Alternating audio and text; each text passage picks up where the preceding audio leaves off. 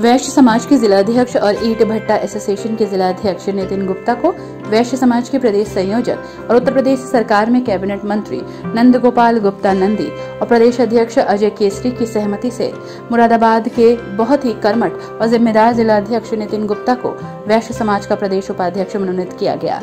साथ ही संगठन के प्रदेश अध्यक्ष अजय केसरी ने समाज के प्रति किए गए उत्कृष्ट कार्यो को लेकर उनकी इस नियुक्ति पर वैश्य समाज में खुशी की लहर दौड़ गई और उनके यहाँ पर बधाई देने वालों का तांता लग गया।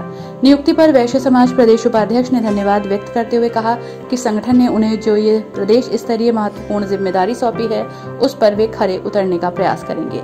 समाज को संगठित और मज़बूत करेंगे। सर राजनीतिक क्षेत्र में आपने कब शुरुआत की और किन किन पदों पर रहे हैं? मैं काफ़ी समय से भाजपा का कार्यकर्ता रहा और मैं इस समय भाजपा का लघु उद्योग प्रकोष्ठ का महानगर संयोजक हूँ। अब हाल ही में आपको किस समाज की ज़िम्मेदारी मिली है?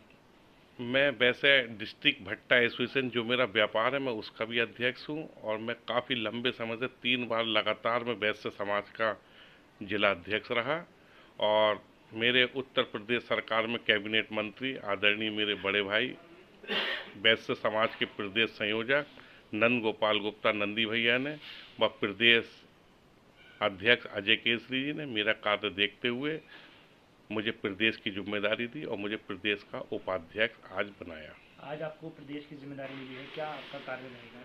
मैंने जैसे अपने वैश्य समाज से एक प्लेटफार्म पे अपने समाज को ज़िले में मुरादाबाद में लेके आया।